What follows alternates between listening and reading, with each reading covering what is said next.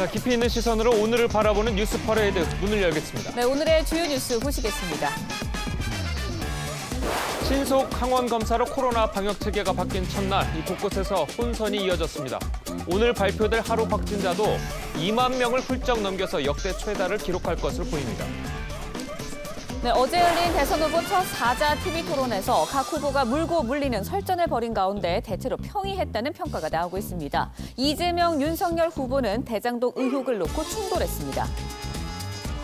미국이 시리아 북서부 지역에서 특수부대 작전으로 이슬람 극단주의 조직인 IS의 수개를 제거했다고 밝혔습니다. 베이징 동계올림픽이 오늘 개막합니다. 엄격한 방역 조치로 곳곳이 통제되고 있는데 올림픽 관련 코로나 확진자는 300명에 육박하고 있습니다. 예, 저희는 잠시 후 돌아오겠습니다.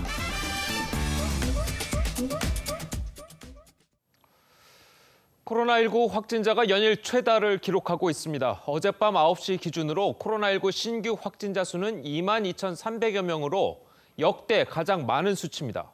어제부터는 코로나19 검사와 진료 체계가 바뀌면서 곳곳에서 혼선이 빚어지기도 했습니다. 장윤정 기자입니다. 어젯밤 9시까지 전국에서 약 2만 2,300여 명의 코로나19 신규 확진자가 발생했습니다. 그제 같은 시간대보다 4,400여 명 많은데 오늘 0시 기준으로 발표될 신규 확진자 수도 역대 최다를 기록할 전망입니다. 전국 방역 체계가 오미크론 대응으로 전환되면서 선별진료소 모습도 달라졌습니다. 신속 항원 검사자와 결과 대기자가 나뉘어 줄을 섰습니다. 밀접 접촉자 등 고위 험군만 PCR 검사를 받을 수 있게 되면서 혼선도 빚어졌습니다. 이거 말고 행사를 해달라는 의뢰서가 있어요. 여기에는 의뢰서가 있어요. 동네 병의원에서도 신속 항원 검사를 시작했는데 검사 키트 공급이 원활하지 않은 곳도 있었습니다. 언제 보내줄 수 있냐 그랬더니 지금 현재로서는 뭐 예측하기가 좀 어렵다고. 방역 당국은 신속 항원 검사를 PCR처럼 신뢰해서는 안 된다고 강조했습니다. 완전히 정확한 검사는 아니다라는 그 말씀을 그 초창기부터 계속 드려왔던 걸로 기억을 하고 있습니다. 신속 항원 검사에서 음성이 나오더라도 의심된다면 재검사를 받아달라고 당부했습니다. TV조선 장윤정입니다. 예, 이 재택치료 환자가 크게 늘면서 벌써 정부가 관리할 수 있는 한계 인원의 90% 수준에 이르렀습니다. 결국 정부는 재택치료자에 대한 모니터링 횟수를 줄이기로 했습니다. 자, 대응 역량을 확보하려다가 이 자칫 관리 부실로 이어지지는 않을지 새로운 걱정입니다. 정은혜 기자입니다. 재택치료자 관리 병원입니다. 재택치료 첫날 18명이던 환자가 석 달 새 380명으로 늘었습니다. 최근 정부는 1,500명을 관리해달라고 요청했습니다. 1,500명 하려면 인원이 보강이 돼야 됩니다. 지금 현재 인원 가지고는 할 수가 없고요. 오미크론 확산에 따라 재택치료 환자도 9만 7천 명을 넘었습니다. 최근 9일 새 약 3배나 급증해 관리 한계 인원인 11만 명의 90%에 육박합니다. 정부가 꺼낸 카드는 재택치료자 모니터링 횟수 축소입니다. 하루 2, 3회에서 고위험군은 2회, 일반 환자는 1회로 줄여 대응 역량을 50%까지 늘린다는 계획입니다. 나아가 아예 모니터링을 하지 않고 환자가 이상시 연락을 하는 이른바 재택 요양 방안도 검토되는 분위기입니다. 정부는 확진자 증가 시 여러 시나리오 중 하나로 논의 중이라고 했습니다. 하지만 우려도 적지 않습니다. 모니터링 횟수가 줄어들면 중증으로 진행되는 것을 조기에 감지 못할 가능성이 있죠. 응급 상황에 빨리빨리 대처가 가능할지도 불확실하거든요. 늘어나는 재택 치료자 관리가 새로운 방역 숙제로 떠올랐습니다. TV조선 정은혜입니다. 예, 전해드린 대로 이 설 연휴 직후인 3일 이 신규 확진자 수가 2만 명을 훌쩍 뛰어넘으면서 다시 최다치를 기록했습니다. 자, 앞서서 보신 내용들을 관련해서 이 김경우 인제대 서울백병원 가정의학과 전문의 모시고 자세히 한번 짚어보겠습니다. 안녕하세요. 네, 안녕하세요. 자, 이 앞서서 저희가 이제 전해드린 대로 이 확진자 수가 2만 명을 훌쩍 넘었잖아요. 이 계속 이제 연일 최고치를 경신을 하고 있는데, 자 국가수리과학연구소죠. 이제 수리원에서는 자 이달 말쯤에는 3만 명 소아 청소년 확진자가 하루 3만 명을 넘을 것이다. 자 이렇게 내다봤잖아요. 이 굉장히 대비가 필요할 것 같은데요. 네, 먼저 경험한 해외에서도 이제 소아 입원 환자가 이제 많이 증가하는 예. 어, 통계를 보이고 있는데요. 이제 미국 같은 경우에는 어, 5에서 11세 예방 접종을 하고 있는데도 불구하고 예. 어, 소아 환자가 증가할 수가 있고요. 예. 어, 우리나라 같은 경우에는 아직 5에서 11세 소아 청소년은 예방 접종을 어, 승인이 되고 있지 않기 때문에 맞지 못하고 있고 그 중에는 이제 기저질환자나 또 면역 저하자 소아 청소년이 있을 수가 있기 때문에 예. 어, 이런 어, 소아 청소년들에게 감염이 되면 어, 일부 중증이나 사망 위험이 높아질 수가 있기 때문에 네. 일단 5에서 11세에서 백신 접종이 꼭 필요한 소아 청소년에게 대한 백신 접종을 좀 서둘러야 될 것 같고요. 예. 어, 대부분 이제 오미크론도 그렇지만 코로나19 바이러스 자체가 소아 청소년이 감염이 된다고 해도 위중증이나 사망 위험이 적다. 대부분 경증으로 간다라고 많이 알려져 있는데 그 대부분이 어느 정도이냐에 따라서 어, 예를 들어서 99.9% 괜찮다라고 하더라도 1000명 중에 한 명이 이제 중증으로 가는 갈- 가능성이 높다면은 소아 환자가 증가하게 되면 그만큼 절대적으로 입원해야 되는 소아 환자 수가 늘어날 수가 있겠고요. 예. 문제 이제 소아 청소년 같은 경우에는 이제 어린이집이라든지 뭐 학원이라든지 이런 데를 필수적으로 거의 다니고 있기 때문에 대부분 소아 청소년의 감염이 어린이집에서 집단 감염이 생기고 또 가족 감염이 됐다가 또 그 가족을 통해서 감염된 어린이가 또 다른 어린이집에서 감염을 일으키고 이렇게 계속 연쇄 반응을 많이 일으키고 있기 때문에 네. 앞으로 소아 청소년이 감염이 굉장히 좀 취약하게 많이 발생할 것 같고 예. 대부분 경증이지만 일부 중증 소아 아, 청소년 환자도 증가할 가능성이 있어서 지금의 어, 전담 병원, 그러니까 중등증 입원이 필요한 병원 같은 경우에는 주로 성인 위주로 되어 있기 때문에 예. 소아에 맞춤 어, 입원 병원이 상당히 부족한 상태고 그만큼 소아 청소년과 전문의도 어, 전담병원에 많이 배치가 필요한데 좀 준비가 아, 충분히 좀 미리 소아에 대해서 준비를 하는 것이 매우 중요하다고 할 수 있겠습니다. 예, 이 소아청소년이 걸리는 게 이제 상당히 지금 상당히 이제 문제가 좀 심각한데, 자 어제 같은 경우에는 이제 오미크론 대응으로 해가지고 좀 방역 지침이라든지 이 검사 방법이 좀 바뀌었잖아요.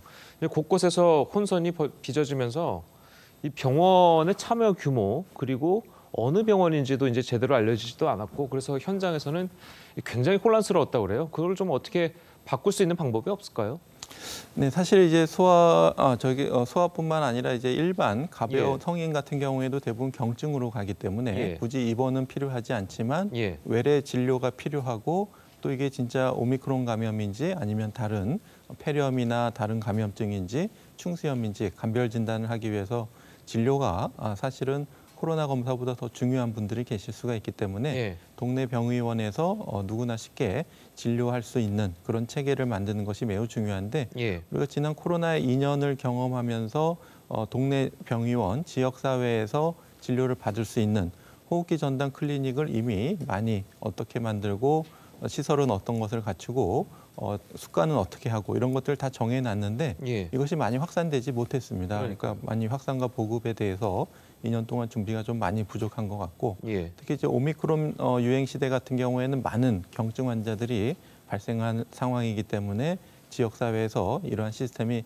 매우 중요할 수가 있는데 뭐 여러 가지 구조적인 문제가 아, 물론 있, 긴 합니다. 그전에 이제 박리담회식으로 짧은 시간 내에 많은 환자를 봐야 되는 이러한 예. 수가 구조에서는 어, 쉽게 구조를 바꾸기 좀 어려웠던 점이 있고 또 어, 시설 면에서도 기존에 유동 인구가 많은 상가 건물에 이렇게 빽빽히 자리 잡은 경우가 많기 때문에 독립된 공간에서 충분히 이렇게 에, 코로나19 환자를 진료할 수 있는 동선과 진료 공간을 가지고 예. 또 여유 있는 충분한 의료 인력이 에, 지역 사회에 굉장히 부족한 경우가 많기 때문에 쉽게 전환은 어려울 것 같지만 그래도 기존에 해오던 호흡기 전담 클리닉 중심으로 해서 이것을 보다 보급과 확산에 좀 노력을 했었어야 했는데 빠른 시간 내에 전환하는 것이 좀 많이 어려웠던 것 같고요. 예. 어, 이제 시행착오를 거쳐서 더 개선될 것으로 보이지만은 어, 우리가 좀 그동안 좀 준비가 좀 많이 부족했다. 그리고 어, 우리가 이 코로나19를 통해서 기본적으로 어, 의료 체계의 어, 어떤 구조적인 문제에 대해서도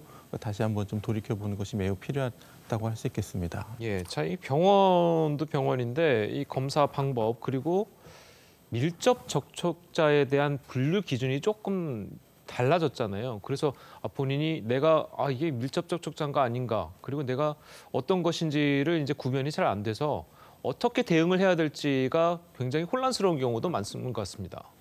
네, 그렇습니다. 지금 특히 오미크론 같은 경우에도 굉장히 사소한 접촉에 의해서 쉽게 감염이 될 수 있고 어, 그렇기 때문에 이제 밀접 접촉자의 범위를 우리가 좀 넓게 잡을수록 그만큼 추가적인 전파를 줄일 수가 있는데 예. 워낙 전파력이 높고 많은 사람들이 감염이 되기 때문에 예. 또 거기에 비해서 상대적으로 경증이기 때문에 어떻게 보면 밀접 접촉자의 정의를 조금 줄였다고 봐야 될 수가 음, 있겠습니다. 예. 그래서 정의를 어 2m 거- 가까운 거리 내에서 15분 동안 아, 그리고 마스크를 둘 중에 한 명이라도 어, 벗은 상태에서 대화를 한 경우에는 우리가 밀접 접촉자로 분류를 할 수가 있겠고 예. 다만 이제 밀접 접촉자로 분류됐을 때 이분이 이 격리를 할 것인가 아니면은 어, 예방 접종을 충분히 하신 경우에는 밀접 접촉을 하셨다고 하더라도 어, 크게 감염 위험이나 중증으로 진행될 가능성이 적기 때문에 PCR 검사를 해서 음성이면은 수동 감시를 하면서 증상이 생기지 않나 보시고 또 마지막 6, 7일 차에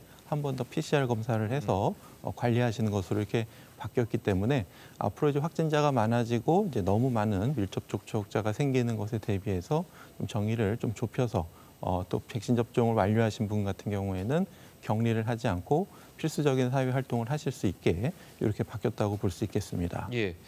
그 중요한 것 중 하나가 이제 재택 치료잖아요. 이제 재택 치료를 하시는 분들이 굉장히 많은데 자, 지금 코로나 검사 양성률도 10.9% 이제 이렇게 치솟고 있고 그리고 재택 치료자 수도 10만 명. 자, 육박하고 있다. 이 수치는 좀 어떻게 해석을 해야 됩니까? 네, 일단은 지금 확산 속도 자체는 매우 예. 빠를 것입니다. 그래서 이제 PCR 검사가 우리가 검사할 수 있는 검사 한계가 있기 때문에 그리고 많은 분들이 검사를 받게 되면은 꼭 필요하신 분들의 검사가 지연되거나 예. 또못 받을 수가 있기 때문에 우선 검사 대상군을 먼저 지정해서 예. 이분들이 우선적으로 PCR을 검, PCR 검사를 받으실 수 있게 이렇게 바뀌었다고 봐야 될 것 같고요. 예. 또 기존의 신속 항원 검사로 대체하고 있지만 정확도가 좀 떨어질 수가 있기 때문에 음성인 게 진짜 음성인가 중요하신 분들이 있겠습니다. 이제 군대에서 복귀하는 장병이라든지 또 이런 취약 고, 고위험 어르신들이 계시는 요양원 요양병원에 근무하시는 분들이라든지 이런 분들은 어, 지- 걸려, 걸렸는데 음성으로 잘못 판독하게 되면은 집단 감염이 생길 수가 있기 때문에 네. 이렇게 우선 검사 대상군이 PCR 검사를 하시게 되고 또 나머지 분들은 일단 젊고 건강하신 분들은 신속 항원 검사를 먼저 해서 거기서 양성이 나온 분들만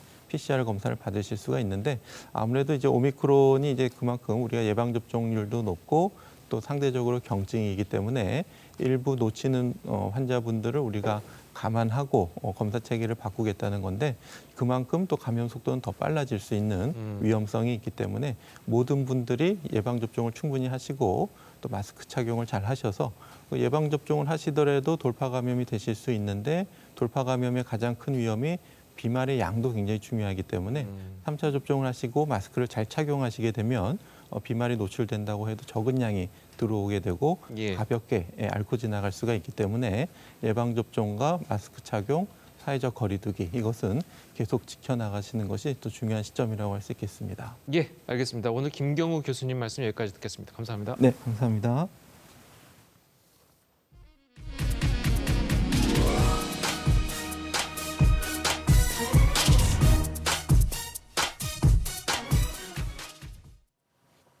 네, 개- 대장동 개발 당시 민간에게 과도한 이익이 돌아가는 것을 반대했던 황무성 전 성남도시개발공사 사장 사퇴 압박 의혹과 관련해 검찰이 이재명 후보에게 혐의가 없다고 결론 지었습니다.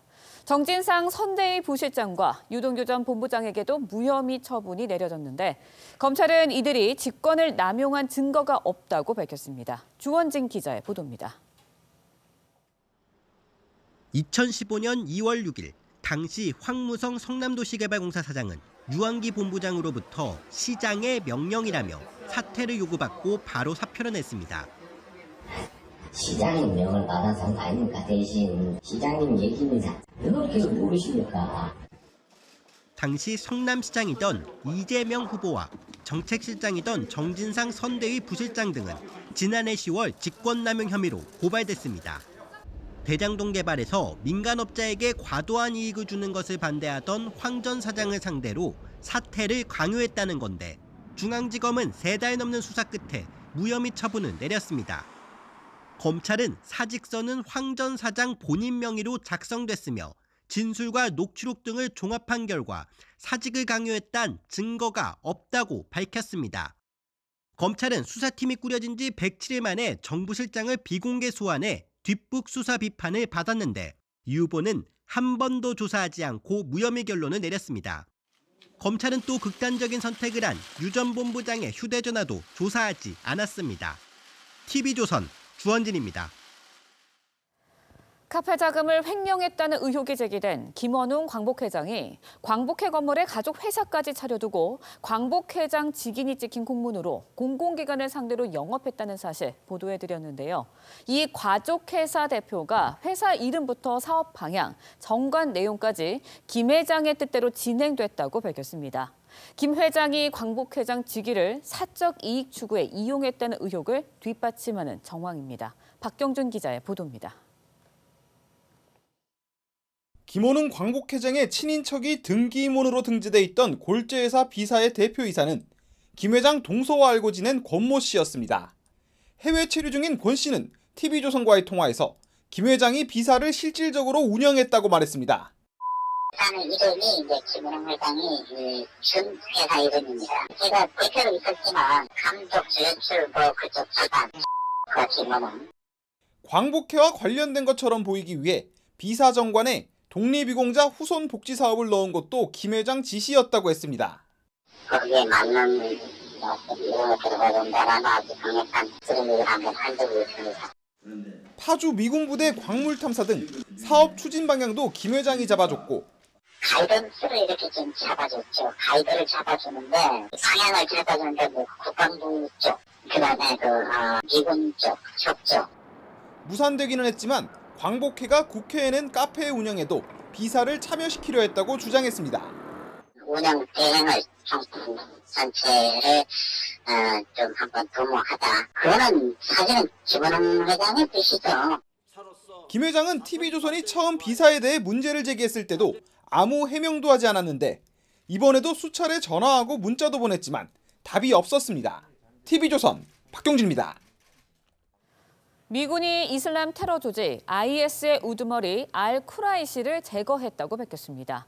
지난달 시리아 북부 수용소를 공격하며 재결집을 노리던 IS의 세력이 크게 약화될 것이라는 전망이 나오고 있습니다. 신유만 기자입니다.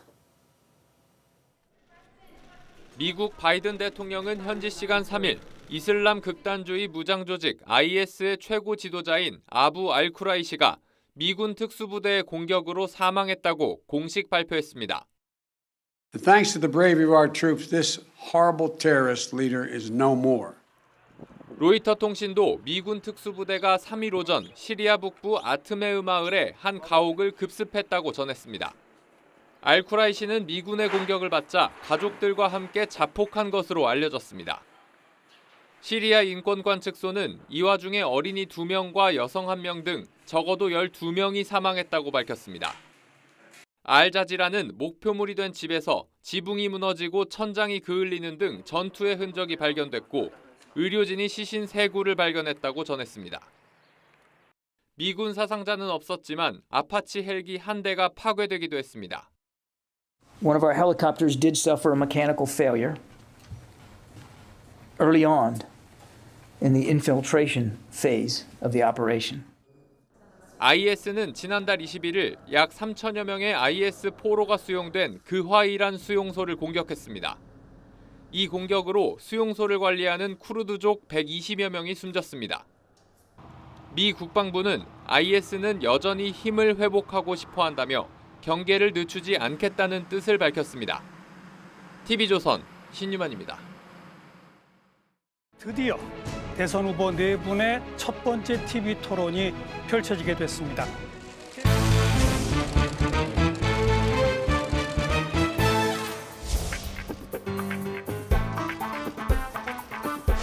근데 윤 후보님은 부친의 집을 그 관련자들이 사줬, 사줬지 않습니까? 다른 걸 얘기를 하시는 거 보니까 여기에 대해서 답을 못 하시네요. 정확하게 사과하실 의미가 있으세요? 이 후보님 문재인 정권의 후계자 맞으시죠? 건강한 경제 대통령이 필요합니다. 제가 책임지겠습니다. 국민이 키운 윤석열이 대한민국의 미래를 확실하게 바꾸겠습니다. 주류 정치가 대표하지 않는 수많은 비주류 시민들과 함께 진짜 정권 교체를 할 수 있도록 힘을 주십시오. 말 잘하는 해설사가 아니라 일 잘하는 해결사가 되겠습니다.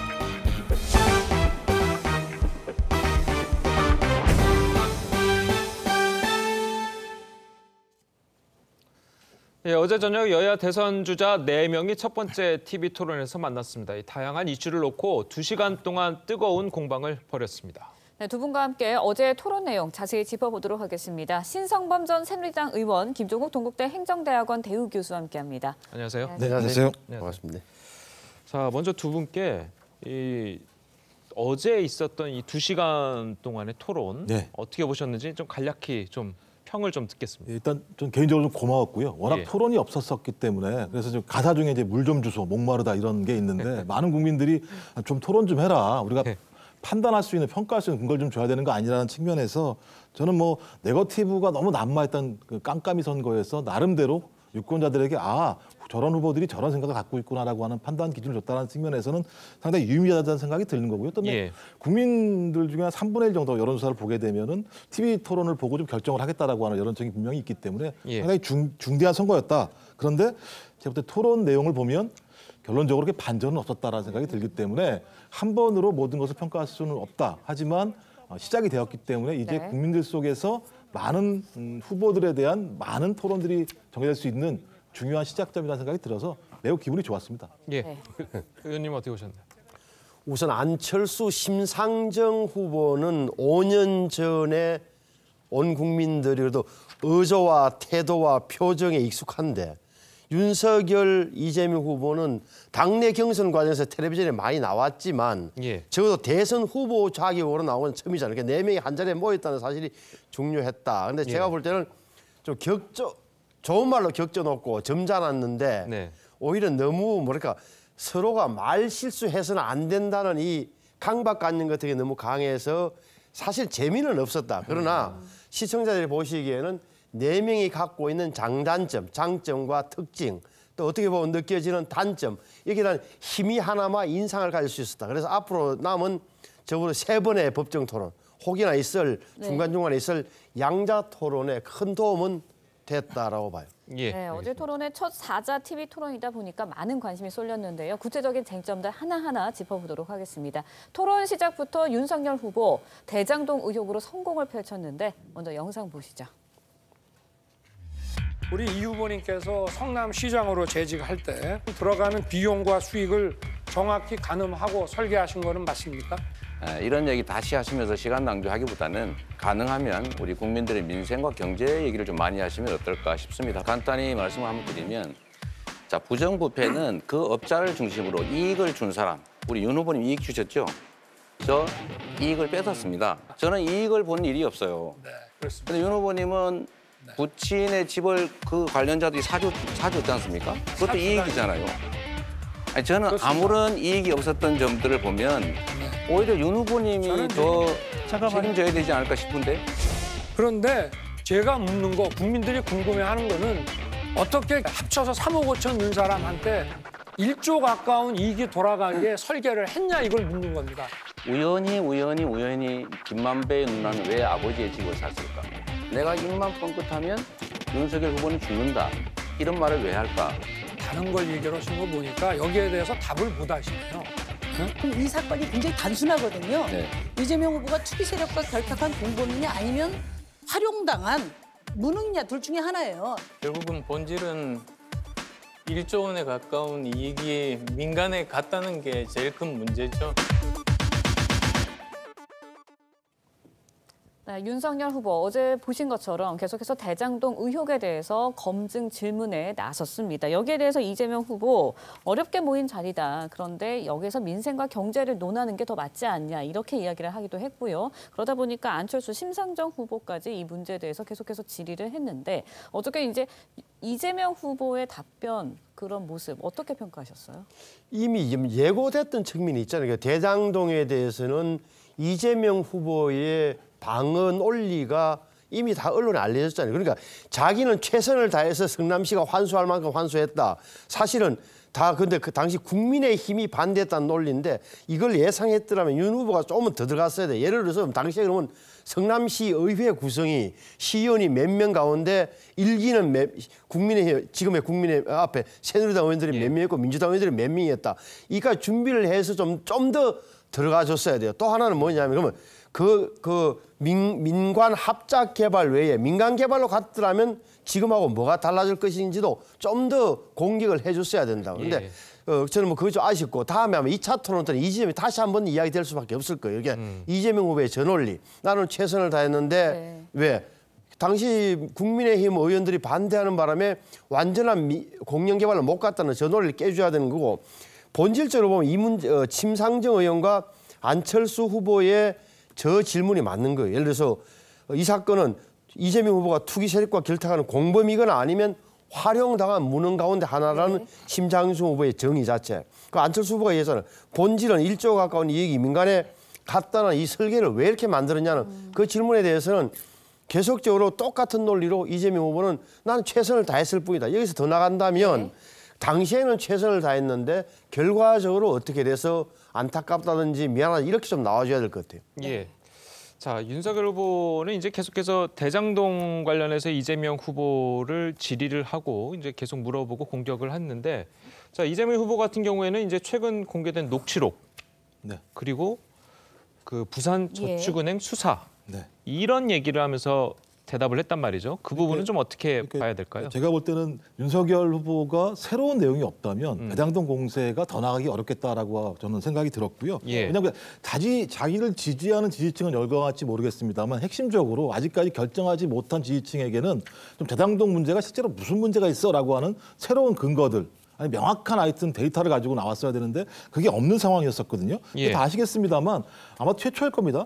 대선 후보가 국정감사에서 이틀 동안 대장동 문제 하나 가지고 어, 소위 그 야당의 공격을 받은 사례가 없었어요. 예. 그러니까 나올 만한 내용들은 거의 다 나온 상황인 거고요. 그렇다면 그건 왜 뭐가 있어라고 하는 부분들을 궁금해했었는데 네. 그 내용이 없었다, 없었다는 거 하나. 또 하나는 뭐냐면 최근에 나온 이제 김만배 씨랑 정회계사의 녹취록 내용인 거죠. 뭐 내가 알고 있는 그 카드면 예를 들면 윤석열 후보가 죽을 수 있어라는 이 카드 내용인데 이 내용과 관련해서 아직까지 그게 뭔지 모릅니다만 지금 추정되는 건 두 가지인 거죠. 그러니까 김만배 씨의 누나 가 네. 윤석열 후보의 부친의 집을 샀는데 어, 이 과정에서 어떤 모종의 관계가 있는 거 아니냐라고 하는 의심 하나인 거고 예. 두 번째가 이제 부산 저축은행 문제인 건데요.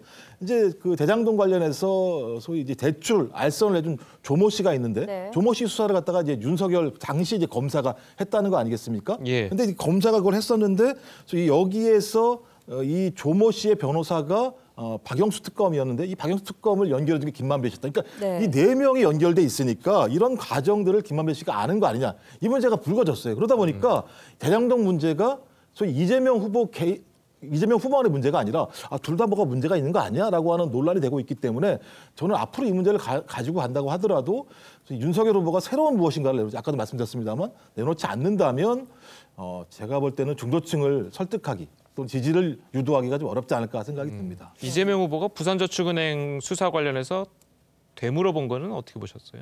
어, 그러니까 아까 말씀하신 그 내용인 거죠. 부산저축은행과 관련해서 본인이 그 수사와 관련해서 부실 수사를 했기 때문에 그것을 원천으로 해서 대장동 사업이 벌어진 거 아니야. 그렇다면 거기에 대한 책임은 어디에 있어라고 질문을 했는데 그냥 그거 제가 볼 때는 퉁치고 넘어갔기 때문에. 네. 예. 아니 저는 저는 뭐 예를 들어서 그게 대, 어, 부산 저축은행의 사건 아마 11년이나 12년 전에 중수부 윤석열 검사가 당시 대검 중수부 아마 이과장 시절에 했던 사건으로 기억되는데 그 당시 핵심 쟁점은 결국은 그때 이 사람들 다 잡아 넣었으면 되는데 안 잡아 넣는 바람에 그 돈이 남아서 이 씨앗이 된 거 아닙니까라는 논지인데 제가 볼때그 부분에 대해서는 좀 어, 판단이 좀 다를 것 같아요. 그리고 또 하나는 김만배 씨가 내가 가진 카드면 윤석열은 준다고 했던 이 부분 결국 이제 김만배가 갖고 있는 그 카드가 뭐냐 네. 약점 잡힌 게 있느냐 하는 부분인데 이 부분 김만배 씨가 이야기하는 이상 몰라요. 근데 김만배가 이야기를 하려면 두 가지가 현재 김만배는 감옥 가 있어요. 그러면 법정에 나올 때 검사나 변호사들이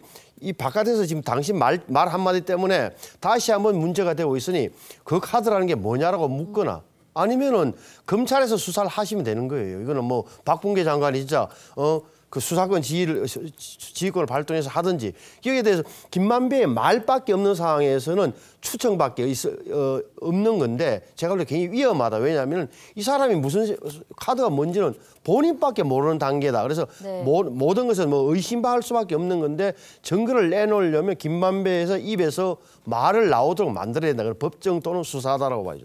예, 알겠습니다. 자, 외교안보 분야 토론 관련해서는 이 윤석열 후보의 대북 정책을 놓고 설전이 벌어졌죠. 어떤 얘기들 나눴는지 직접 들어보시겠습니다. 사드 배치 이거 수도권에 하면 고고도 미사일은 해당이 없습니다. 왜 그걸 다시 설치해서 중국의 반발을 불러와서 경제를 망치려고 하는지 북한에서 수도권을 겨냥할 경우에는 고각 발사를 하는 경우가 많기 때문에 당연히 수도권에 필요합니다. 그 윤석열 후보님 최근에 그 선제 타격로는 몇 차례 말씀하셨어요. 매우 경솔을 한 발언이라고 생각합니다. 전쟁을 하려는 것이 아니라 전쟁을 억제하기 위해서 이거를 전쟁이 전쟁을 벌이려는 것이라고 말씀하시는 거에 대해서는 글쎄 국민들께 한번 어떻게 생각할 수 있냐 여쭤보고 싶습니다. 그러니까 그거는 이제 대통령의 언어가 저는 아니라고 생각하고요. 자, 이 보신 것처럼 이 설 연휴 때 윤석열 후보가 사드 추가 배치 공약을 내놨잖아요. 이 부분에 관련해서는 이재명 예. 후보가 중국의 반발을 불러와서 우리나라 경제를 망칠 수 있다. 이렇게 지적을 했거든요. 예, 뭐 저는 이런 토론은 되게 중요하다고 생각을 하는 거고요. 아, 예. 우리가 이제 분단돼 있고 대립돼 있는 국가에 있다라고 하는 사실들을 좀 명확하게 확인한 것 같다는 생각이 드는데요. 예. 이재명 후보가 얘기했던 건 그거죠. 이제 소위 중국이라고 하는 것이 우리나라 무역의 한 4분의 1 정도를 차지하는 상황이지 않습니까? 네. 과거에 사드 배치 이후에 연간 한 22조 정도의 손실이 있었다는 얘기도 분명히 있었고요. 예. 지금 코로나19 이후에 우리 경제가 어디로 갈지 모르는 상황이고 또 세계 경제는 전환적인 어떤 경제적인 패러다임 변화가 있는 상황에서 가장 중요한 중국과의 관계가 틀어졌을 때 예. 경제적인 어떤 어, 상당히 많은 위기가 올 수도 있다는 측면들이 분명히 있다. 근데 이런 상황에서 왜 굳이 사드를 배치하느냐? 좋다. 그럼 그 사드가 필요하다면 배치할 수는 있다. 하지만 사드가 실제로 필요하냐 이 문제인 거예요. 그러니까 예. 북한의 기대령하고 성주가 270km 정도 차이가 납니다. 이거 가지고 논란이 많았어요. 그러니까 사드라고 하는 게 고고도인데 그 정도 270km 정도의 거리를 가지고 이것이 유용하겠는가라는 논쟁이 많았는데 지금 윤석열 후보 얘기에 의하면 소위 충청도 북부 지역이나 경기도 이남 지역이라고 얘기하면 더 가까워지는 거거든요. 그랬을 때이 사드 자체가 효용성이 있겠는가 하나의 문제하고 지금 미군하고 한국밖에는 실제로 이제 우리나라에 들어와 있는 것도 이제 미군이 운용하는 거기 때문에 예. 미군밖에는 이걸 활용하지 않고 있는 상황입니다. 일본도 사, 사용을 사용을 안 해요. 오히려 고고도라면 일본이 이걸 채택을 해야 되는데 일본도 안 하고 있는 상황인데 이런 것들을 굳이 지금 상황에서 가져올 이유가 있겠는가라는 부분이고 그다음에 우리나라가 세계 군사 6위라고 평가를 받고 예. 있습니다. 천궁2라고 하는 적어도 그다음에 현무 포 지금 그, 그 마침 그 개발하고 있는 예. 건데 상당히 좋은 어, 미사일 방어 체계들을 구축하고 있는 상황들이 분명히 있기 때문에 굳이 이런 것의 리스크를 다 안고도 우리가 다 가지고 있는 상황에도 왜 거- 불구하고 왜 사드를 굳이 배치하려고 해서 대중국을 자극하고 효용성도 없느냐라고 하는 문제 제기를 이재명 후보가 윤석열 후보에게 한 것으로 제가 알고 있습니다. 자, 의원님은 어떻게 보시나요? 이 사드 추가 배치가 필요한지 그리고 만약 추가 배치를 한다 그러면 중국으로부터 제재를 또 받아서 이 경제에 우리나라 경제에 심각한 위협이 된다. 이 부분에 대해서 동의를 하십니까? 그 이재명 후보의 놀린 적선 중국의 경제가 걱정된다는 취지 아니겠어요. 근데 제가 볼 때는 올 들어서 올해 들어서 이미 일곱 차례 미, 미국 어, 북한이 미사일 발사 실험을 했고 듣도 보도 못하는 뭐 극초음속까지 이야기 나오는 마당에 예. 우리 로서는 뭔가 해야 된다는 것은 분명한 사실이에요. 손을 놓고 있을 수밖에 없는 거예요. 그래서 뭐 고각으로 하- 쏜다 이런 기술 전문가, 국방 전문가 중에서도 탄도 미사일 전문가들이 판단해야 될 부분인데 적어도 대통령이 되려는 사람은 뭔가는 해야 되잖아요. 그러니까 윤석열 후보가 이야기하는 결국은 국가 안보가 튼튼해야 주가도 유지된다. 그러니까 경제에 대한 반박을 했단 말이에요. 국가 안보가 튼튼해 주가가 유지되고 대한민국이 말하는 국가 리스크가 줄어든다. 이 말도 틀린 말은 아니란 말이에요. 또 하나는 오히려 저 안철수 후보가 윤, 어, 이, 이재명 후보에서 된, 된 이야기를. 삼불 정책을 어떻게 평가하느냐. 삼불을 하면 사드 추가 배치 안 한다. 미국 MD 체제 안 들어간다. 한밀 군사동 안 하겠다. 이 삼불에 대해서 어, 안, 안철수 후보가 이재명 후보에 물어봤고 나 마지막으로 안철수 후보가 어, 이재명 후보가 그렇게 삼불에 대해서는 어, 걱정 안 해도 된다. 어, 삼불 정책은 걱정 안 해도 되는 수준에 이야기하니까 너무 굴욕적인 중국 사대 외교 아니냐. 예. 이 정도 이야기를 하는데 저는 이 대목이 오히려 핵심이다. 그러니까 중국의 경제 봉쇄에 대한 우려 때문에 우리의 주권적 어, 사드 배치 권리를 포기할 거라는 부분에 대한 그 나름대로 진단이 있는 거고요. 또 하나는 윤석열 후보가 재밌는 이야기를 하더라고요. 격투기 이야기를 했어요. 그러니까 예. 옆구리, 다리 막 다 다 공격도 오는데 그 고고도 중고도 뭐 이렇게 높은 데서 하- 뭐 미들 이렇게 다 막는 다층 방어 체제가 필요한 것 아니냐 이런 논리에 대해서는 저는 나름대로 국민들이 보기에는 좀 설득이 있다고 저는 봐요. 네, 사드 추가 배치에 이어서 대북 선제 타격론에 대해서도 질의 공세가 계속해서 이어졌습니다. 심상정 후보, 윤석열 후보가 주장했던 대북 선제 타격론, 국민들의 불안을 조성을 했다라고 비판을 했습니다. 오히려 그러면서 선제 타격이 선전포고를 하는 것이다라고까지 표현을 했어요. 그러니까 제가 알기로는 군사 전문가들이 이런 얘기 할 수 있습니다. 당연히. 왜냐하면 분단 상황에서 북한이 어떤 것을 공격할 것을 예방할 수 있는 방책과 관련해서 어, 선제 타격이라는 부분들을 얘기할 수 있습니다만 대통령의 언어는 아니라는 거죠. 왜냐하면 대통령이 선제 타격할 수 있다 이런 얘기를 굳이 할 필요가 없다라는 거예요. 그건 준비하는 거죠. 그러니까 대통령 우리나라 헌법에 보면 대통령은 평화적 통일을 추진하게 돼 있는 상황입니다. 그리고 전쟁이라고 하는 상황들은 돌이킬 수 없는 상황으로 가는 거예요. 그렇다면 그걸 적극적으로 막아내는 것이 우선인 거고 이것을 막아내기 위한 우리의 전력 자산을 만들어내는 건데 우리의 전력 자산을 굳이 다 강조하면서까지 얘기할 필요가 뭐가 있겠냐라는 측면에서 소위 왜 저런 말씀을 하시느냐. 그러니까 의도는 제가 볼 때는 이것이 무슨 뭐 선제 타격을 통해서 방어하겠다라기보다는 소위 안보라고 하는 분야를 통해서 자기 지지층이나 보수 지지층들의 지지를 유도하고 결집하기 위한 방식이 아닌가라는 측면에서 저 전형적인 소위 북한 위협론 또는 안보를 통한 어, 소위 선거 운동을 전개하는 거 아니냐라는 분명히 우려가 있는 거고요. 다 아시겠습니다만 작전 계획상에 다 들어있는 내용이에요. 이게 뭐 없는 게 아니고요. 저희가 무슨 뭐 제가 저, 예, 과거에 청와대 어, NSC에 있어봤기 때문에 다 알고 있는 내용인데 다 알고 있지만 얘기하지 않는 이유가 있어요. 그것을 굳이 얘기할 필요가 없어요. 그리고 알아도 안 되는 내용들이 꽤 많이 있는 내용인데 제가 볼 때는 그런 내용들을 어, 불러내서 소위 불안을 자기 예, 야기할 수도 있고 또 다른 외국 정상들이 봤을 때 아니 저런 후보가 왜 계속 선제 타격론을 얘기하지? 저렇게 얘기해도 되나라고 하는 소위 국격이 분명히 있는 측면이 있어서 저는 앞으로는 좀 이런 얘기들은 자제하시면서 어떻게 하면 안보력을 최대로 올릴 네. 것인가라고 하는 방법으로 좀 각도를 다 바꾸시는 게 좋다라는 생각이 듭니다. 사실 김주옥 박사님께서 경험이 많으시니까 NS 맞는 말씀이에요. 그러니까 선- 선제 타격론을 함부로 이야기하면 안 되는 건 맞아요. 분명한 사실이에요. 왜냐하면 국민들이 생각에 이 소중한 평화가 언제 깨일지 모른다는 불안한 가- 생각을 갖게 되면 안 좋은 걸 맞는 거죠. 근데 지난번에 윤석열 후보가 이야기한 것은 외신 기자가 만약 북한이 핵탄두를 지금 쏜다면 예. 어떻게 할 것이냐. 이때는 선제 타격방밖에 없다는 그런 논리를 이야기한 거거든요. 그러니까 예, 아, 예를 들어서 미국도 보면 이제 뭐 흔히 하는 말로 클리엔 프레젠트 그러니까 명백하고 현존하는 위협이 있을 때는 선제 타격이 가능하다는 게 어떻게 보면 군사 교류 중에 하나로 되어 있는 거예요. 여기다가 좀 더 붙이면 명백하고 현존하고 임박한 위협. 예를 들어서 바로 우리를 쏠것 같은데 우리가 그러면 얻어맞고 있을 수만은 없지 않느냐. 이런 상식적인 차원에서는 답변이라고 보는 거예요. 임박하다면. 근데 네. 사실은 좀 더 정확한 질문은 대선 후보들에서 뭐, 뭘 어떻게 해야 되냐면은 당신은 대통령이 된다면 어느 어느 징후가 있을 때 선제 타격을 하라고 국방부 장관 또는 참모총장에게 지시하겠습니까? 라고 묻는 게 그 징후를 뭘로 볼 것이냐. 이게 좀 더 그렇죠. 과학적인 질문이에요. 알겠습니다. 지금 어제 이제 외교안보 토론에 이어서 네. 자 부동산에서도 굉장히 열띤 토론이 이어졌습니다. 이 관련 내용 들어보시고 이야기 계속해서 이어가도록 하겠습니다. 지금 우리 사회 부동산 문제로 우리 국민들께서 너무 고통을 많이 겪고 계십니다. 대대적 공급 확대를 위한 정책이 제1순위가 될 것입니다. 걸림돌이 되는 제도들을 제거를 해야 될 것 같습니다.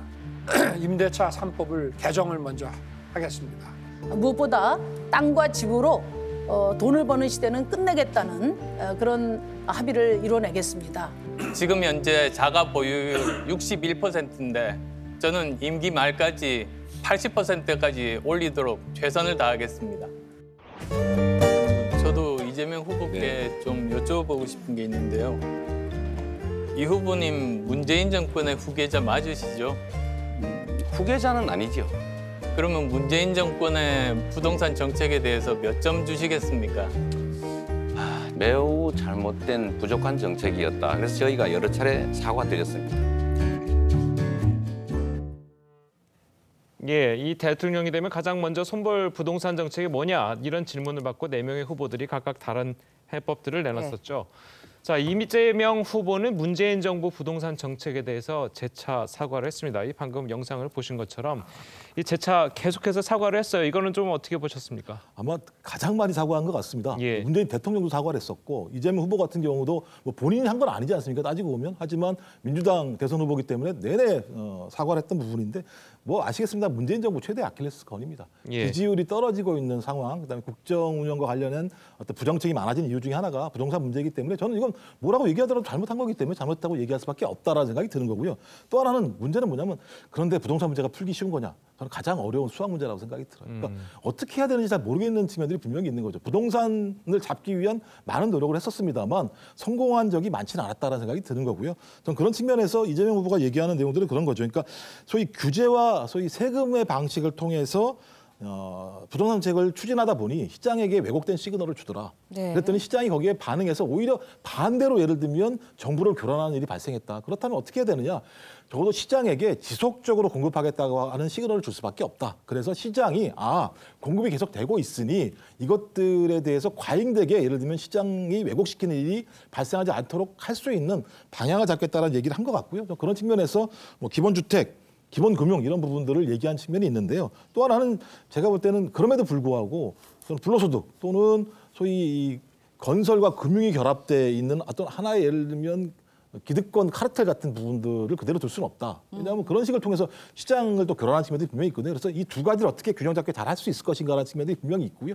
하나의 어, 장점이라면 문재인 정부가 부동산 정책을 못했기 때문에 누가 되건 다음 정부는 이 문제에 대해서 시장을 상당 부분 존중할 수밖에 없지 않을까라고 하는 하나의 교훈을 남겼다고 생각을 합니다. 예. 예.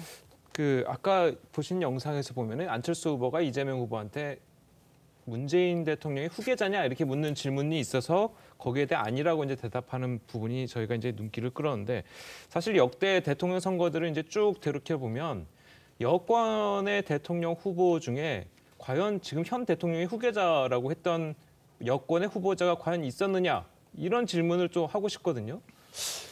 그게 이게 파괴적인 승계냐 혁신적 승계냐 그 차이잖아요. 그러니까 예를 들어서 지금 이재명 후보의 가장 큰 제가 이재명 후보를 느끼는 벽이 내가 이렇게 열심히 선거운동하는데 왜 정권 교체 여론이 이렇게 높아서 내 지지율이 안 오르는 거야 그 대목 아니겠어요? 근데 예. 당내에서 문재인 정부와의 차별화를 시도한들 당내 벽에 부딪히고 또한 지금 현 문재인 대통령의 지지율이 자기보다 높은데 이재명 후보 지지율보다 높- 높게 나오는 이런 상황에서는 옴짝달싹 못한다는 느낌을 강하게 받을 거예요. 그런데 유일하게 탈출구가 부동산 문제였잖아요. 부동산 문제만큼은 중인 환실이 온 국민이 보기에도 이미 판정이 끝났기 때문에 가장 자신 있게 할 수 있는 거고 여러 차례 사과했던 거다. 근데 저는 어제 보면서 질문에 대해서 말이죠. 대통령이 된다면 가장 먼저 손볼 부동산 정책은 무엇인가라는 질문도 굉장히 시의적절했고 이거 고민을 많이 했기 때문에 내 후보의 특징이 가장 잘, 잘 드러나서 보십시오. 이재명, 안철수가 오히려 고- 공급 대폭 확대예요. 예. 근데 윤석열 후보는 돈 공급 확대는 언급하지고 규제 완화하고 임대차 3법을 개정하겠다는 나름대로의 좀더 구체적인 걸 임대차 3법을 고치겠다는 결국은 또 하나는 심상정 후보는 이제 아예 좀 더 펑퍼짐하게 집으로 돈 버는 시대 끝나겠다. 그다음에 정치권 합의가 집값 하향 안전화시키겠다는 정치권 합의가 우선된다. 이렇게 해서 딱 네. 딱네 명의 차이점이 어, 극명하게 좀 드러났다. 이 대목을 유심히 봐야 된다고 저는 봐요. 예, 네, 알겠습니다. 어제 사실 토론회가 윤석열 후보에게는 데뷔 전이나 마찬가지였습니다. 윤석열 후보 다른 후보들의 질문에 당황하는 모습을 참 보이기도 했었는데 어떤 장면이었는지 영상으로 보고 이야기 이어가겠습니다. 혹시 윤 후보님께서 청약 점수 만점이 몇 점인지 아십니까? 40점으로 알고 있습니다.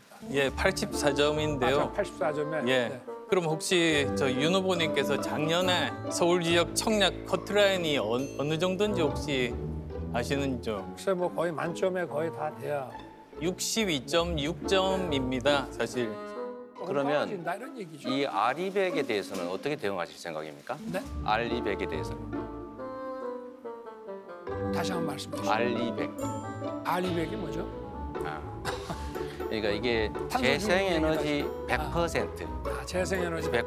제가 드리는 말씀은 그 뜻이 아니고 네. EU 텍소노미라고 하는 새로운 제도가 논의되고 있는데 아니 EU 뭐 뭐란 거 저는 막 들어본 적이 없으니까 좀 가르쳐 주시고요. 그러면 제가 설명해서 네네. 말씀드릴게요.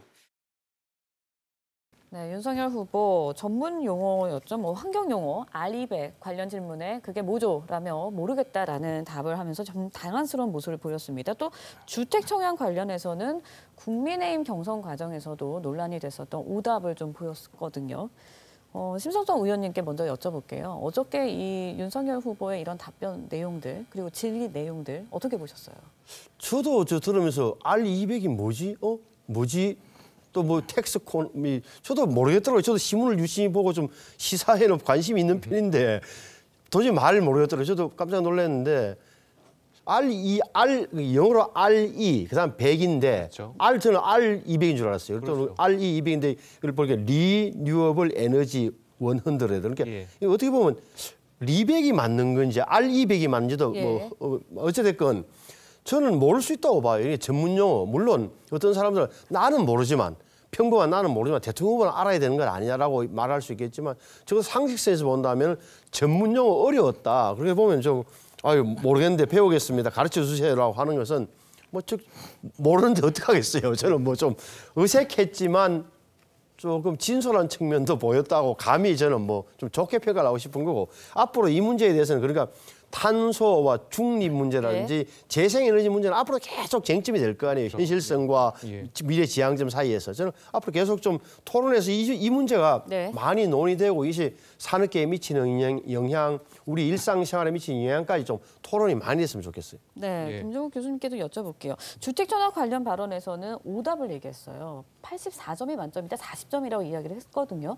거기에 대해서는 어떻게 보셨어요? 그러니까 이제 이 문제 관련해서는 참 이게 뭐라고 논평하기 좀 애매한데요. 왜냐하면 이유가 뭐냐면 과거에 이제 집이 없으니까 청약 통장이 없다라고 말씀하셔가지고 논란이 많이 됐던 거잖아요. 예. 그러면 이 정도의 사회적 논란이 됐으면 본인이 충분히 준비하고 오셔야 되는 거 아닌가? 뭐 다른 건 모르겠어요. 그러니까 그뭐 오- 오늘 아까 말씀하신 뭐 아리백이든 뭐 EU 텍소노미든 이건 잘 모르겠습니다만 이 정도 부분에 대해서는 본인이 엄청난 공격을 많이 받았기 때문에 충분히 준비해 왔어야 되는데 이것도 준비하지 않았다라고 얘기한다면 토론의 의미가 뭐가 있을까라는 고민도 할 수 있을 것 같아요. 토론에서 어, 이 부분에서 당연히 물어볼 거 아니겠습니까? 네. 저 그리고 하나만 더 말씀드리면 이제 아리백이나 이- EU 텍소노미나 이거, 이거 관련해서는 모를 수도 있어요. 근데 왜 그랬냐면요.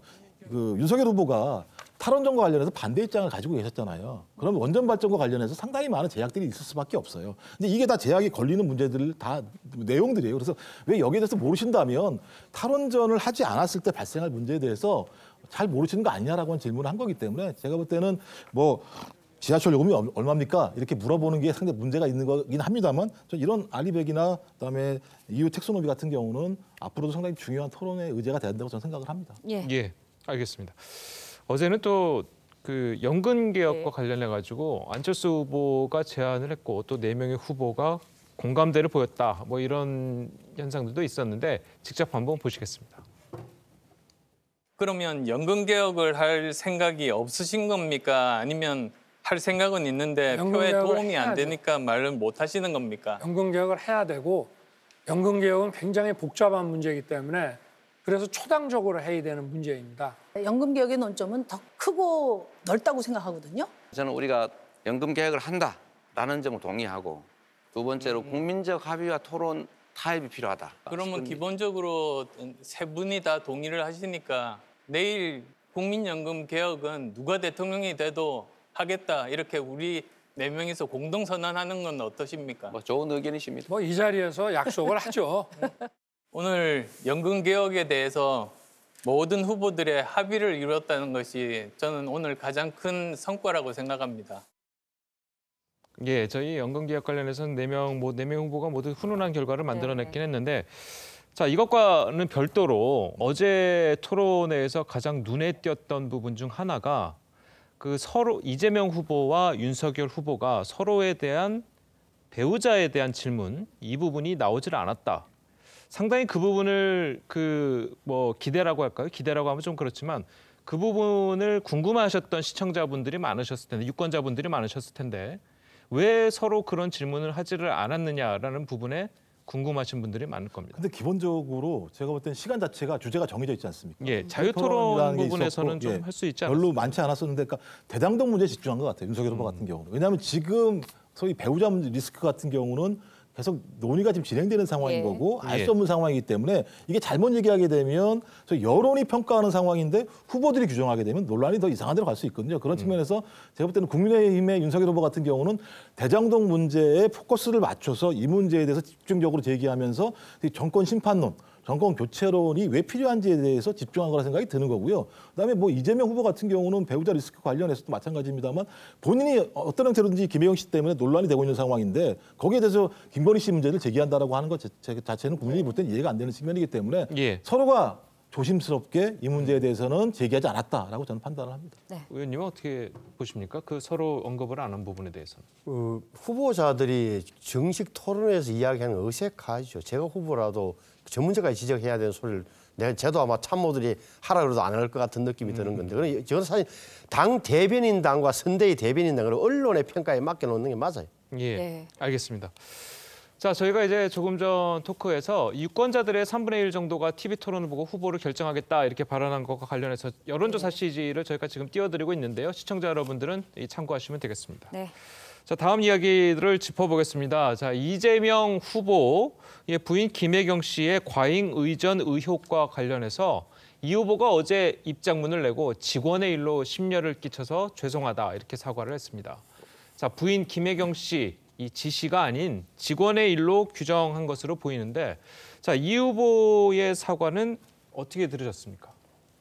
그 저는 감사 이야기를 하는데 감사는 말이죠. 예를 들어 지금 이재명 후보가 지사직을 그만두고 나서 제가 생각 제 행정 제일 부지사가 지사 권한 대행을 하고 있을 테고 감사관도 아마 이재명 지사 시절에 임명한 분이 돼 있을 거예요. 감사를 하게 되면 아시는 대로 어, 시간이 오래 걸려요. 사실 네. 이거는 경찰 조사나 검찰 수사로 빨리 지- 진행 넘어가든지 아니면 병행하는 게 맞는 거예요. 왜냐하면은 이 말이 많이 틀리고 국민들이 보기에도 이상한 짓이 많잖아요. 이렇게 어, 배모 씨의 설명, 김혜경 씨의 그런 서- 설명에도 불구하고 뭐 고개를 갸우뚱거리게 되는 측면이 많고 또한 바깥에 계신다는 A 모씨 심부름 했다는 그분이 무슨 이야기를 할지 언론에 잘못하면 제 느낌상으로는 매일매일 새로운 게 나오고 오늘은 소고기 내일은 뭐, 뭐 한다든지 이런 식으로 나오게 되면 어떻게 다, 다 따라가겠어요. 그러니까 제가 볼 때는 수사나 감사로 빨리 전환하는 게 맞다고 봐요. 네, 민주당 내부에서도 이번 논란과 관련해서 사과 반성이 필요하다라는 목소리가 나오고 있는데요. 여야의 목소리 모아봤습니다. 직접 들어보시죠. 그대로 인정하고 뭐 사과할 부분은 사과하고 반성할 부분은 반성해야 된다고 생각합니다. 저는 포괄적으로 책임지고 사과를 낸 것이라고 보고요. 그렇게 해야 된다고 생각합니다. 아랫사람 일이라고 모른 척 할 수 만은 없다라고 생각합니다. 이게 전부 이재명 지사와 김혜경 그 부인이 한 거지 왜 이게 무슨 인지하지 못하고 차단하지 못했다 그럽니까? 이게 완전히 유체이탈 화법이고요. 네, 앞서서 일단은 검, 감사와 뭐 수사로 일단은 전환을 빨리 해야 된다는 말씀해 주셨는데 국민의힘에서는 이재명 후보 부부와 오국 사무관 배모 씨 직권남용 의료법 위반 혐의로 검찰 고발했습니다. 또 여기에 대해서 국민의힘 이재명 후보가 몇 주짜리 사과문으로 사과할 게 아니라 김혜경 씨의 대국민 공개 사과까지도 요구하고 있거든요. 어떻게 보세요? 뭐 일단 어, 이재명 후보 같은 경우가 지사 시절 자체 직원의 부당 행위에 대해서 체크하지 못한 점은 잘못했다. 도의적 책임에 대한 부분하고요. 그다음에 또 부인이 사전에 방지하지 못한 것도 잘못했다. 이렇게 네. 도의적 책임은 물어 어, 어, 국민들에게 했, 했, 뭐 했고요. 그다음에 이제 두 번째는 이제 법인카드 사용 의혹과 관련해서 감사기관에 철저한 감사를 하고 진상 규명을 해서 거기서만 규정에 따라서 문제가 있다면 책임지겠다고 얘기를 했는데 이제 왜냐하면 수사와 조사는 얘기하지 못한 이유가 뭐냐면 음. 이건 이미 제가 볼 때는 국민의힘 쪽에서 다 그 고소고발을 했을 거예요. 네. 그래서 본인이 얘기할 부분이 아니고요. 고소고발 됐으면 어, 소위 수사나 조사기관에서 이것은 수사하고 조사해서 사법적 판단에 따라서 결정할 문제이기 때문에 얘기할 수는 없다는 생각이 드는 거고 감사라고 얘기하는 건 본인이 이제 요청할 수 있는 부분이기 때문에 그것들을 요청한 측면이 있다는 생각이 듭니다. 그래서 어, 말씀하신 것처럼 어떤 결과가 나오게 되면 그 결과에 대해서 책임을 지겠다는 원칙들을 가지고 있는 거고요. 하지만 아직까지도 뭔가 나오지 않은 의혹에 대해서 국민의힘 같은 경우가 사실인 것처럼 얘기하는 건 좀 부당하다. 네. 그래서 앞으로 나오는 상황에 대해서 지켜보고 거기 합당한 책임을 지겠다라고 하는 것이 이재명 후보의 입장이라고 저는 생각합니다. 아니 저는 이 대목에서 좀 어, 다른 것보다는 이게 구조적인 문제가 있다는 걸 좀 지적하고 싶어요. 제가 찾아보니까 이게 어떻게 보면 이 10년 전에도 문제가 나서 10년 전에 성남시장 계실 때 이재명 후보가 성남시장 시절에 박모 의원이 시의원이 제시를 한 것이 이때 보면 성남시 행사장마다 시장 부인 김혜경 씨가 밀착 수행하는 사람인데 배모 씨다. 지금 배모 씨예요. 근데 이 양반이 보니까 비서실 계약직 직원으로 돼 있더라. 그런데 완전히 어떻게 직원이 이렇게 사모님을 시장 부인을 밀착 수행하냐 문제 제기를 한 게 2012년이에요. 10년 전 일이에요. 이게 10년 전 일이 있었던 거예요. 저는 오히려 2010년에 이재명 시장 당선되고 나서 바로 이 배모 씨가 7급으로 들어온 거 아닌가 의심을 하는데 어찌됐건 시장실에 8년 있다가 또 다음에 지사 되니까 지사에 가서 7급, 시장실에는 7급, 도지사실에는 5급으로 간 거란 말이에요. 그러니까 완전 어떻게 보면은 왜 또 총무과가 따놨느냐. 총무과가 업무 추진비를 쓰기 때문에 네. 업무 추진비 관리하기 때문에 그래서 도지사의 업무 추진비를 어떻게 보면 이 배모 씨가 관리하는 것 아니냐는 의심이 들 정도란 말이에요. 예. 왜 이런 문제가 자꾸 생기느냐? 견제받지 않은 지방자치단체의 권력 때문에 그런 거예요. 그러니까 10년 전에 이 문제를 좀 더 진지하게 생각했더라면 이런 다음에 대통령 선거를 염두에 뒀던 작년 정도에는 이런 걸 하면 안 되죠. 카드를 뭐 바꿔치는. 예. 근데 아무리 생각 없이 하게 된 것은 적어도 어, 아무도 견제받지 않고 책임지지 않는 지방자치단체장의 그 행태가 이어진 거라고 저는 봐요. 알겠습니다. 예, 오늘 두 분 말씀은 여기까지 듣겠습니다. 감사합니다. 고맙습니다.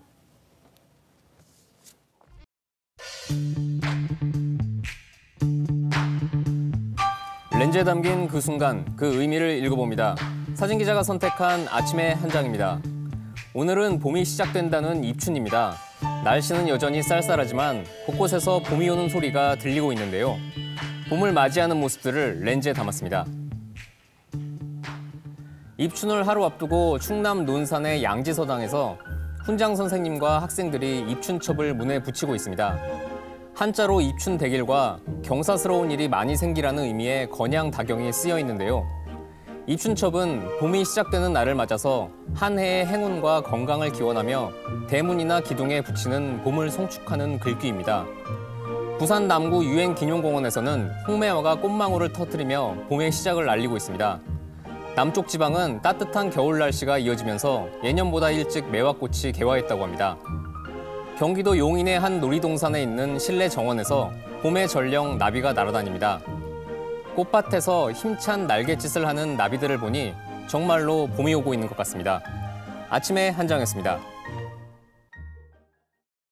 네, 오늘은 봄의 시작을 알리는 절기 입춘인데요. 곳곳으로 한파특보가 내려지면서 절기가 무색하게 몹시 춥겠습니다. 현재 서울 기온 영하 7.1도까지 뚝 떨어져 있고요. 철원은 영하 14.9도, 대전은 영하 4.3도 등 대부분 지역 영하권 강추위가 이어지고 있습니다. 낮에도 서울 영하 2도, 청주 0도, 대구가 4도 선에 그치면서 어제보다 2, 3도가량 기온이 낮겠고 바람까지 불면서 체감 기온은 대부분 지역에서 영하권에 머물겠습니다. 오늘 대부분 지역 대체로 맑겠지만 충남 서부와 전북 서해안 지역으로는 아침까지 눈이 살짝 지날 것으로 보이고요. 밤부터 내일까지 충청과 호남, 제주에는 비 또는 눈이 이어지겠습니다. 내일까지 호남 일부 지역으로는 많게는 7cm가 넘는 큰 눈이 내리겠고요. 제주 지역으로도 최고 10cm 정도의 눈이 내릴 것으로 보입니다. 한편 동, 동쪽 지역은 여전히 대기가 건조한 가운데 부산과 울산, 동해안 지역으로는 건조 경보까지 내려 질 만큼 화재 사고에 각별히 주의하셔야겠습니다. 이번 주말까지 추위가 계속 이어질 전망입니다. 날씨였습니다. 자, 뉴스 퍼레이드는 다음 주 월요일 아침 7시 30분에 다시 돌아오겠습니다. 네, 시청해주신 여러분 고맙습니다.